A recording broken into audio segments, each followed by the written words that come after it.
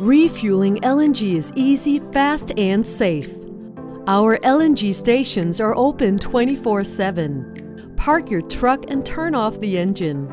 Step by step refueling instructions are provided on the pump display.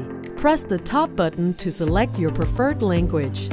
Put on your personal protective equipment. Check the pressure of your vehicle tank. If it exceeds 10 bar, the vehicle pressure needs to be reduced.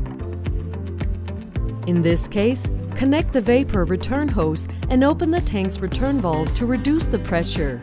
It is important that you remember to clean the connection point with compressed air.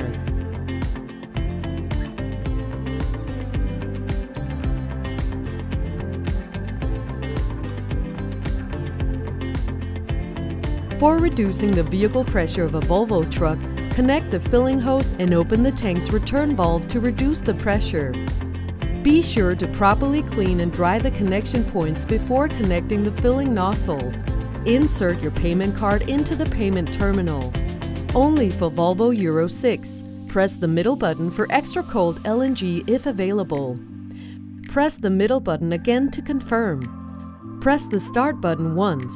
Note, this must be done within 90 seconds after inserting your payment card. The system will now be prepared to start the refueling process. If still necessary, the vehicle pressure will be reduced and the system will be cooled down. This may take several minutes. Is the system ready for use? Then press the start button and hold to refuel.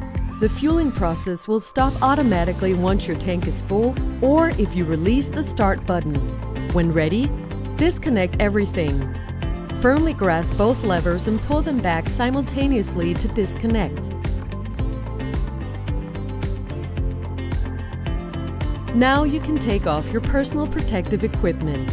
Is there a malfunction or do you need assistance?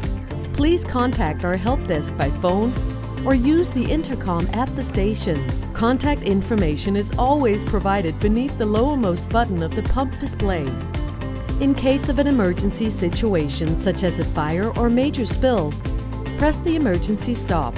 This will activate an emergency shutdown of the entire LNG station.